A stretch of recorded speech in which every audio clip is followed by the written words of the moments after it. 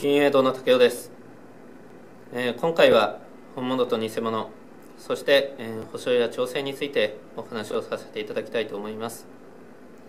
まあ、現在、えー、本当にさまざまなアイテムや、まあ、ブランドがありますし、まあ、それと同時に、え、レプリカやコピー品、ま、偽物、え、模倣品ま、そして、え、そういったものを、え、本物として歌って販売しているものなどもあります、ま、金栄堂では、えー、各々のブランドやメーカーと正規の契約を結ばせていただいており金栄堂で販売させていただきますアイテムは、全て、えー、日本国内の正規品ですそして、えー、それらを各々その方のお顔立ちや使い方に合わせて調整を行ったり、えー、カスタムをさせていただいて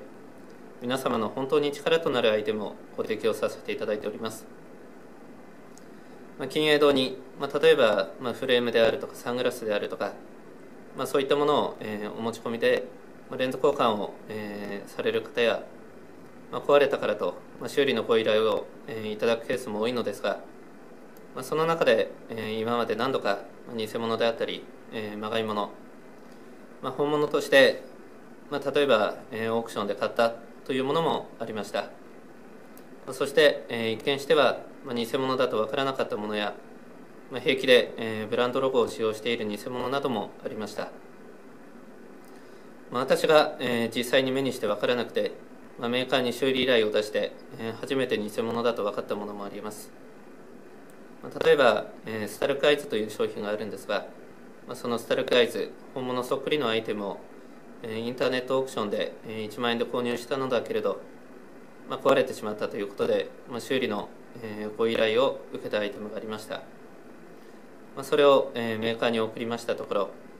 まあ、通常壊れていなければえ見えない部分なんですがえテンプルえ耳にかける部分ですね。えそこの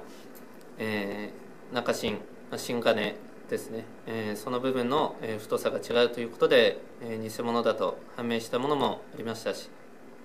まあフロントと、えテンプルをつなぐ長板部分、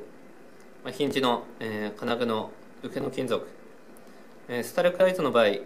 まあフロント側にも、え通常この受けの金属が埋め込まれているんですが、まあそれがなく、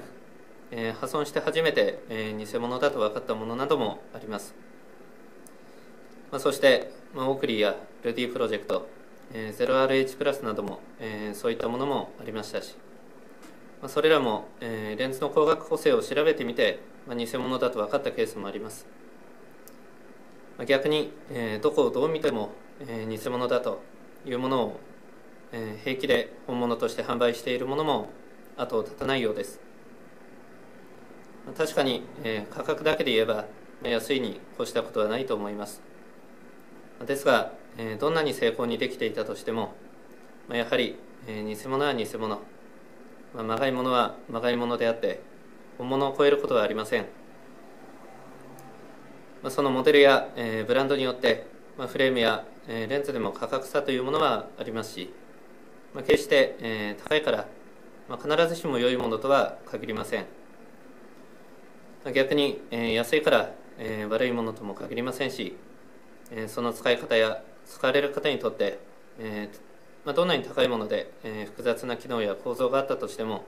まあ、それが不要なもので、価格の手頃なアイテムの方が、えその方の使い方などに、え適合する場合というものももちろんあります。ですが、え偽物というものは、えそれらとは全く考えが違うものです。例えば、えオークリーの光学補正やフレームの素材などはオークリー社独自開発のものであって、偽物であれば、えー、それを再現するということは、不可能であり、まあ、仮にできたとしても、えー、その製品というものは、まあ、莫大な、えー、価格になると思います、まあ、本物より、えー、偽物の方が高いなんていうことは、まあ、おそらくないと思います、まあ、そして、えー、同じ機能を持ったものが、まあ、例えば、えー、オークリーのクロスリンクえー、税込み1万9950円という価格ですが、まあ、これが5000円になったり、えー、3000円になったりすることは、まあないです、出されている価格というのには、え、それなりの理由があり、ま、多くの、え、人の手やさまざまなテクノロジーが凝縮されて、え、その価格というものが出ているわけです、逆に申し上げれば本物であるからこそえそれに見合ったパフォーマンスまそれ以上の力となってくれるのが本物のアイテムです。そしてえ原則金営堂ではえお持ち込みの商品に対してのまあチューンアップやフィッティングはお受けしておりません。というのもその製品に対して必ずその際まあ何らかの力がかかったり本体に対して加工が必要となるケースがほとんどでまあその際の製品の保証の兼ね合いやまあそのアイテムに最適な調整を施せない場合というものがあるからです。まあそして仮に偽物だった場合まあもちろん偽物ですから交換するような部品もありませんしまそういったことからま原則金営堂でえお買い求めいただきまえお買い求めいただきましたものに対してのみえカスタムやフィッティングえチューンナップを行わせていただいております。まこういったえカスタムやチューンナップは金営堂でお買い求めいただきましたえサービスとしてま部品代以外の作業量はえ初回サービスそのようにえさせていただいております。まあ本物であるからこそ金営堂でもさらにその能力を引き出すためにさせていただけることがあると思いますしまあ本物であるからこそそのパフォーマンスは偽物では得られないものだと思っております。まあ、必ずしも、まあ、オークションなどが、えー、悪いものとは全く思っておりません、まあ、オークションの中にも、えー、中には、まあ、レアなアイテムも、えー、手に入れることができる場合もあるでしょう。ですが、えー、真偽は写真からでは、えー、おそらくほとんどわからないと思いますし、まあ、現に、えー、金営堂の取り扱う、えー、正規品、まあ、本物の写真を、えー、勝手に使われて、まあ、オークションに掲載されたというようなこともありました。まあ、このように、まあ、本物の写真を使われたら、まあ、偽物が、えー、本当に成功に作られたものであれば、えー、おそらく、えー、真偽は、えー、壊れるまでわからないと思います、まあ、偽物では、えー、本物と同等、えー、もしくはそれ以上に、えー、パフォーマンスを発揮することができないのは、えー、断言できますし、まあ、まして、えー、それがスポーツで使用するものであれば、えそれは、えあなたのパフォーマンスを、まあさらに低下させてしまったり、